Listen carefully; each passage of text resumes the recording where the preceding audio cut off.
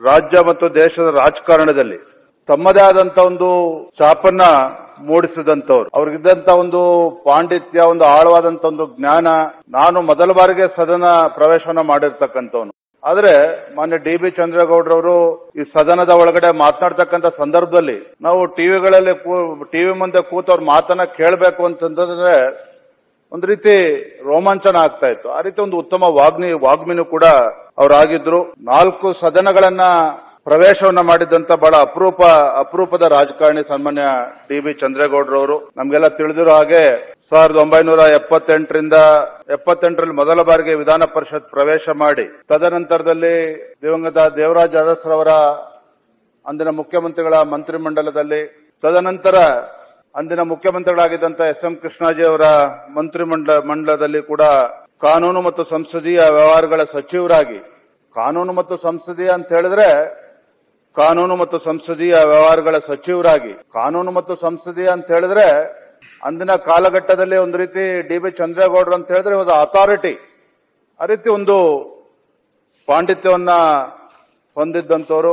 ಅವ್ರ ಹಿಂದೆ ಸಾವಿರದ ಒಂಬೈನೂರ ಎಪ್ಪತ್ತೆಂಟರಲ್ಲಿ ಯಾವ ರೀತಿ ಚಿಕ್ಕಮಗಳೂರು ಲೋಕಸಭಾ ಕ್ಷೇತ್ರದ ಮುಖೇನ ಲೋಕಸಭೆಗೆ ಪ್ರವೇಶನ ಮಾಡಿ ತದನಂತರ ಶ್ರೀಮತಿ ಇಂದಿರಾ ಗಾಂಧಿ ಅವರಿಗೆ ಆ ಕ್ಷೇತ್ರನ ಬಿಟ್ಕೊಟ್ಟಿರ್ತದ್ದು ಕೂಡ ಒಂದು ಇತಿಹಾಸ. ಇದ್ರ ಜೊತೆ ಜೊತೆಗೆ ಮಾಜಿ ಮುಖ್ಯಮಂತ್ರಿಗಳಾಗಿದ್ದಂತಹ ಸನ್ಮಾನ್ಯ ಬಿ ಎಸ್ ಯಡಿಯೂರಪ್ಪನವರು, ಅವರ ಒಂದು ಅಧಿಕಾರದ ಅವಧಿಯಲ್ಲಿ ಸಾಕಷ್ಟು ಸಲಹೆಗಳನ್ನ ನೀಡಿದ್ರ ಮುಖೇನ ಈ ರಾಜ್ಯದ ಒಂದು ಬೆಳವಣಿಗೆಗೂ ಕೂಡ ಸಾಕಷ್ಟು ಕೊಡುಗೆಯನ್ನ ಕೊಟ್ಟಿರ್ತಕ್ಕಂಥವ್ರು. ಅಂತ ಹಿರಿಯರು ಇವತ್ತು ನಮ್ಮನ್ನ ಅಗಲಿದ್ದಾರೆ.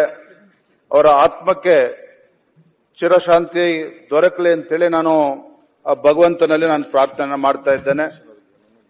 ಜೊತೆ ಜೊತೆಗೆ ಇತ್ತೀಚೆಗೆ ನಡೆದಂತ ಜಮ್ಮು ಕಾಶ್ಮೀರದ ರಜೌರಿ ಜಿಲ್ಲೆಯಲ್ಲಿ ನಡೆದಂತಹ ದುರ್ಘಟನೆ.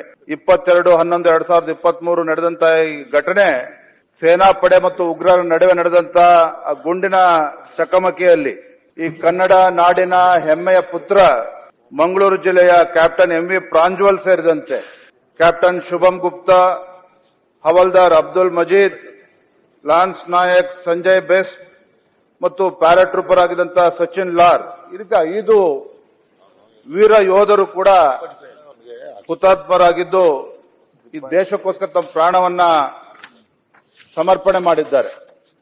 ಅದರಲ್ಲೂ ಕೂಡ ಕ್ಯಾಪ್ಟನ್ ಪ್ರಾಂಜಲ್ ಅವರ ಮೃತದೇಹ ಬೆಂಗಳೂರಿಗೆ ಬಂದಂತ ಸಂದರ್ಭದಲ್ಲಿ ಆ ಅಂತಿಮ ದರ್ಶನಕ್ಕೆ ನನಗೂ ಕೂಡ ಅವಕಾಶ ದೊರಕಿತ್ತು. ಇವತ್ತು ಅಂತ ವೀರ ಯೋಧನನ್ನ ಕಳ್ಕೊಂಡಿರ್ತಕ್ಕಂಥ ರಾಜ್ಯ ಕುಟುಂಬದ ಜೊತೆಯಾಗಿ ಇಡೀ ರಾಜ್ಯದ ಜನ ಯಾವ ರೀತಿ ಇವತ್ತು ಕಂಬನಿಯನ್ನ ಸುರಿಸಿದ್ರು ಅಂತಕ್ಕಂಥದ್ದು ಈ ನಾಡಿನ ಜನ, ದೇಶದ ಜನ ಗಮನಿಸಿದ್ದಾರೆ.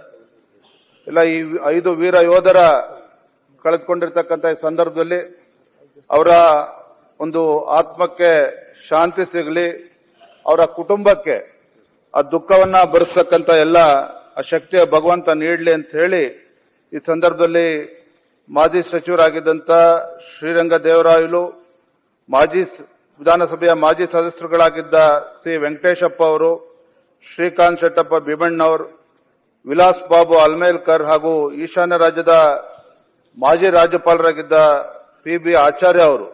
ಇವರೆಲ್ಲರ ಆತ್ಮಕ್ಕೆ ಶಾಂತಿ ಸಿಗಲಿ ಅಂತೇಳಿ ಸಂದರ್ಭದಲ್ಲಿ ಈ ಒಂದು ಸಂತಾಪ ಸೂಚನೆ ನಿರ್ಣಯಕ್ಕೆ ನಾನು ಬೆಂಬಲಿಸ್ತಾ ನನ್ನ ಮಾತನ್ನು ಮುಗಿಸ್ತೇನೆ ಬಾಲಕೃಷ್ಣ.